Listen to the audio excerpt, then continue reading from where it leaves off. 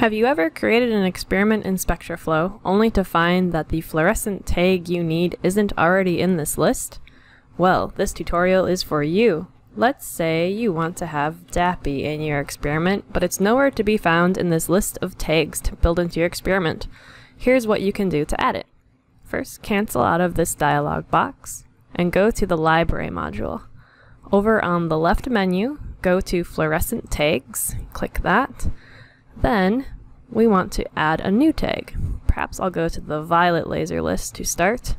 Then I'll come over here on the right and click add under the violet laser group. Go ahead and type in the name of the dye you want to add. For me it's DAPI and its emissions around 470 or so. And I know I can get excitation off the violet as well as the UV laser, so I'll check both lasers under here. If I want to call it something else, other synonyms for DAPI, I could go ahead and type those in here. I don't have any, so I'm going to cancel out of there. Then I will save my fluorescent tag, and you can see it now appears in the list.